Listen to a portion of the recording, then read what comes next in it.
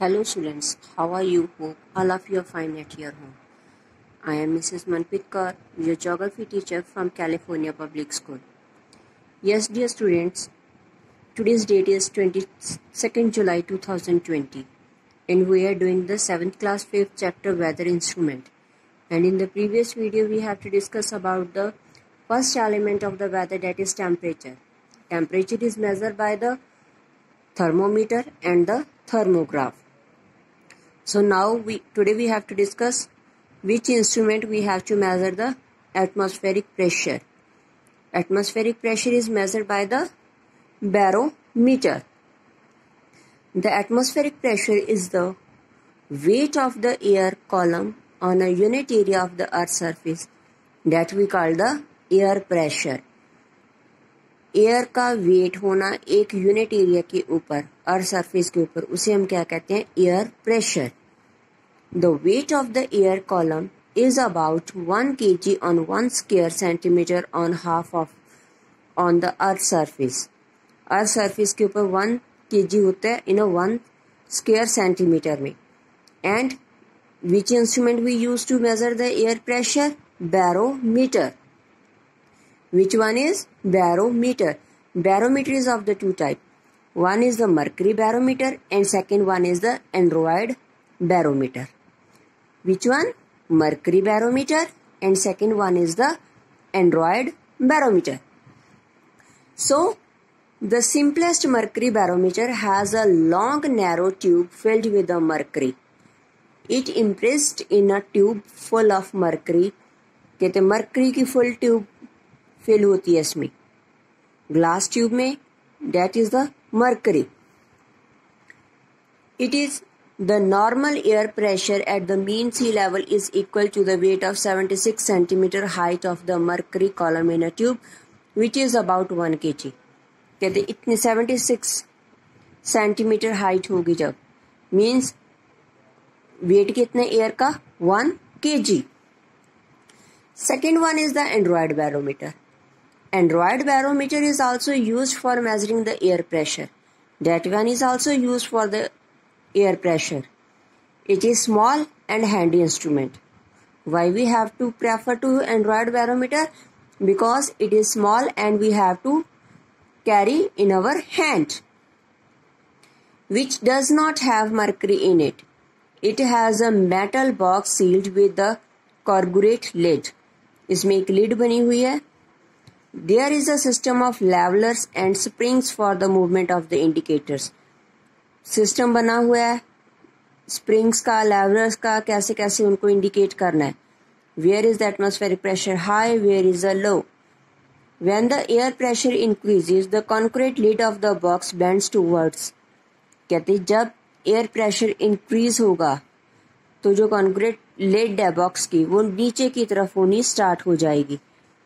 The pointer moves on the mark scale which tell the condition of the air pressure intensely जो air pressure intensely के बारे में हमें बताती है।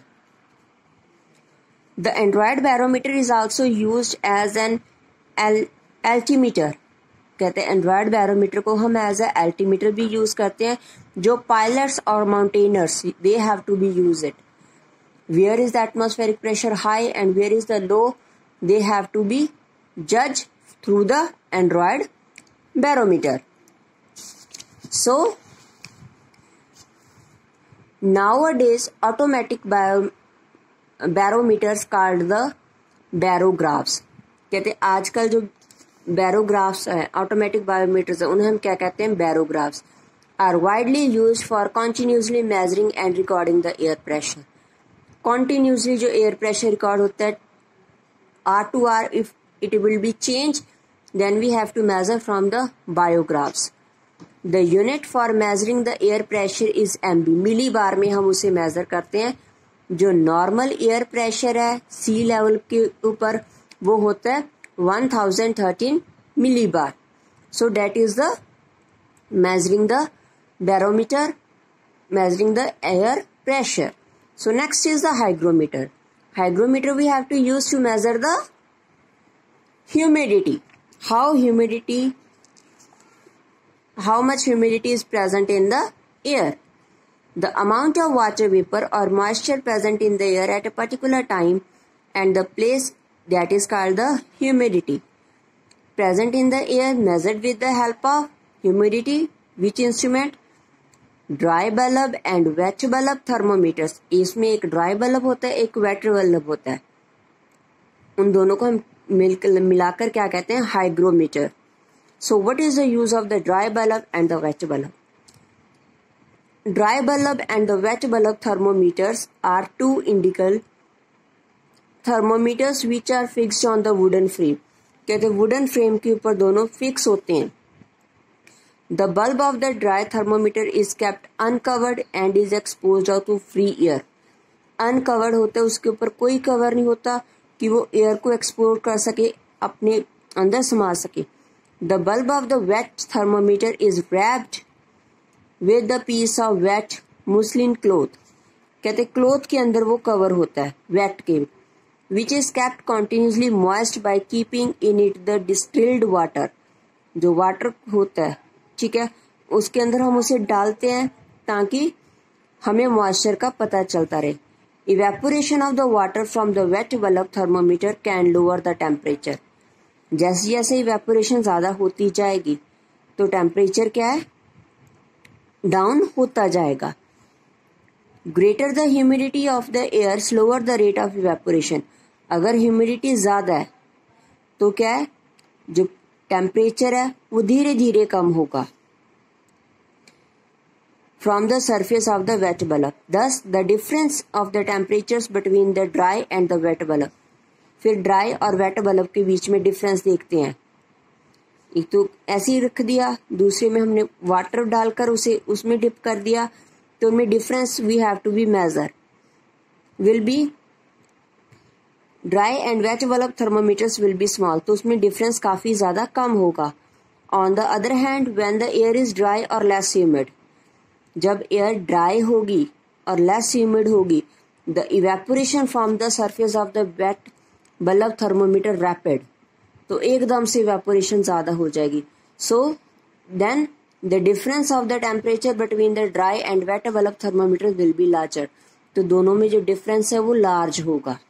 सो so, इससे हमें पता चल जाएगा टेम्परेचर डिफरेंस से डेट ह्यूमिडिटी इंक्रीज और डिक्रीज अगर ह्यूमिडिटी कम है तो डिफरेंस ज़्यादा होगा। अगर ह्यूमिडिटी ज़्यादा है तो difference between the temperature is the less so difference of the temperature will show the status of the atmospheric with respect of the humidity तो एटमोस्फेयर की ह्यूमिडिटी के रेट के बारे में हमें बताते हैं कि how much humidity status in the atmosphere कैसे temperature difference between dry bulb, thermometer and wet bulb, thermometer?